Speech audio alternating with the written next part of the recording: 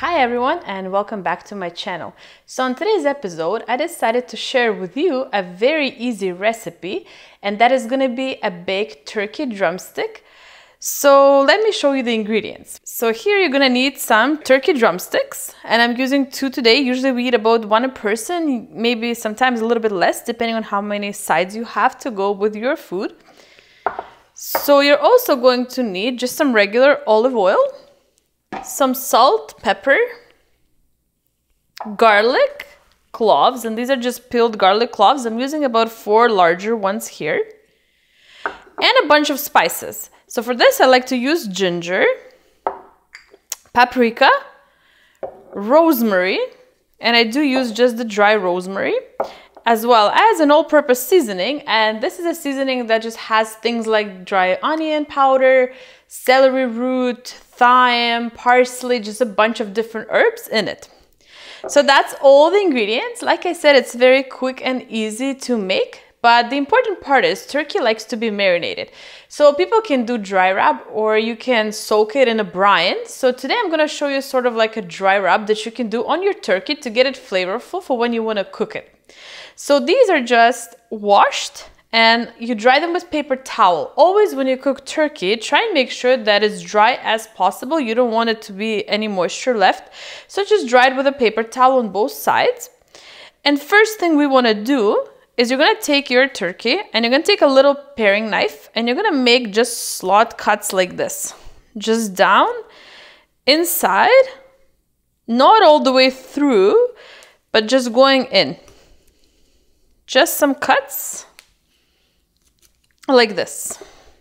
And you can make these cuts on both ends, as many as you like. You're gonna be filling these cuts with garlic. So if you want a lot of garlicky flavor, you can make a lot of these slots or you can make a few. So you do that on both of the turkey drumsticks. Okay, next thing I'm gonna do is I'm gonna take some olive oil and you're just gonna pour some on top of your turkey. Turkey likes melted butter. You can use melted butter if you wish instead. You can use any kind of oil. And I do it for two reasons. Turkey likes this extra fat and also because when you're putting spices on top, they stick better to the turkey. So just some oil and rub it all around. Of course, if you're making it for guests, good idea to wear some rubber gloves at this point, disposable ones. But I'm making it for myself, so we're good. Next thing you want to do is you want to take your salt and pepper. So you want to salt your turkey and salt it pretty well. It takes a lot of salt and it tastes really good when it's well salted. So just salt it all the way around. And now do the same thing with the black pepper. And then you want to rub in the salt and the pepper into your turkey drumsticks. And some of this pepper and salt will get into these slots. That's why I didn't fill the slots up with the garlic yet. And now the last step in preparation of this turkey, you're gonna take the rest of these spices and you're gonna just put them on top of your turkey. And now here what I do is all-purpose seasoning. Well, I eyeball all this, but using at least a teaspoon of this um, seasoning. So I'm gonna, I just eyeball mine and you just wanna kind of put it all around your turkey. And these are herbs, so don't worry. They will not be overpowering or anything. So do the all-purpose seasoning. Rosemary, I like to put not a lot because I find that rosemary actually is pretty flavorful. So I don't do too much and I crush it a little bit and just put it like this. And like I said, not a lot. Like probably half teaspoon or even less for one of these drumsticks. But it's also personal preference. Some people really like rosemary and they put more. But I think it's pretty overpowering to me. Next thing you do, we're gonna add a little bit of the dried ginger. Same thing here. I don't do a lot because I also find that ginger is very powerful in the taste. So I just do a little bit about a half teaspoon for both of these legs. And the very last thing you want to do is paprika. And if you want, you can also use smoked paprika to give it a little bit of the smoky flavor. But I do like mine just oven roasted without that smell. So I just use regular paprika. And paprika again, if you put quite a lot, it'll be completely fine. It's not overpowering to me, so just like that. So the next thing you want to do, you have two options. One, you can place them in a Ziploc bag, which is what I like to do because then you throw out the bag and you don't have to worry about washing extra dishes. But what you can also do is you can just take a baking dish that you're going to use the next day to bake it in and you can place, place it into that baking dish covered with some saran wrap and place it in the fridge. So from here is what you want to do. Place it into a bag or a container or a baking dish. It is really up to you and you want to leave it in the fridge. I'm going to say minimum two hours long. The best is to leave it overnight and then cook it the next day. So I'm just going to place mine in a Ziploc bag and we're going to place it into the refrigerator. And this will help the turkey get flavorful inside out. Before I place it into a bag, sorry, I forgot most important part, the garlic. So what you want to do now is just take your garlic and cut it into some kind of smaller pieces that can fit into those slots. So I usually quarter my garlic and then quarter it some more. So I have these little chunks and you got to place those chunks into the turkey. And also I should say that if you have leftover garlic pieces like this, don't throw them out. Tomorrow when you're baking it or in three hours, you can just place it all around your turkey at the bottom. That also gives off extra flavor. So now just find the slots that you made and you're just gonna insert these pieces into those slots.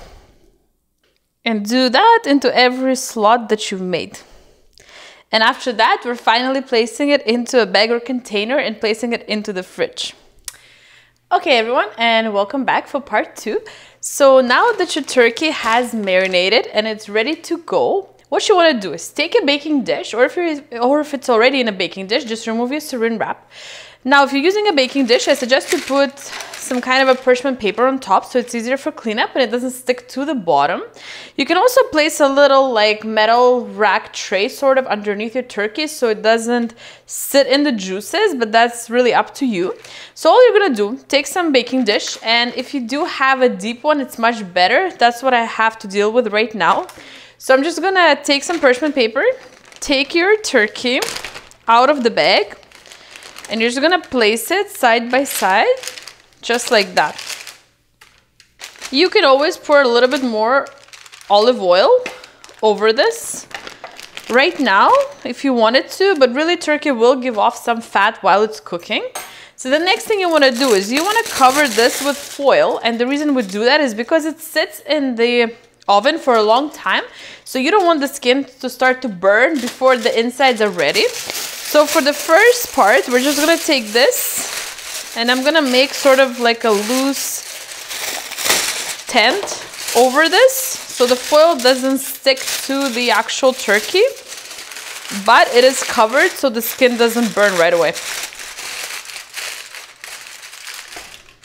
So just sort of something like this. Now you want your oven preheating to 400 degrees. You're gonna cook it for about an hour and 20 minutes after which you remove the foil and you're gonna cook 10 more minutes on broil. So total cooking time is about an hour and 30 minutes, give or take, depending on your oven, could be a little bit less. It should not be any more unless your legs are much bigger than mine. Um, also, during the cooking process, it's a great idea to, to take off the foil and baste it with the juices that come out from the turkey. And you just take them and pour them on top. So you can do that as much as you like every 20 minutes, about every 20 minutes. So maybe two times during the whole cooking process or two to three times.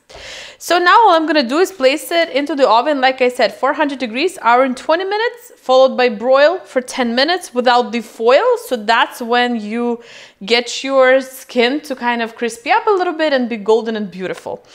So like always, once this is ready, I'll show you how it looks at the end. Okay everyone, so the turkey drumsticks are ready now. So this is the up close, how they look. So these are roasted turkey drumsticks from the oven. So I cooked them in total for hour and a half. So hour 20 minutes at 400.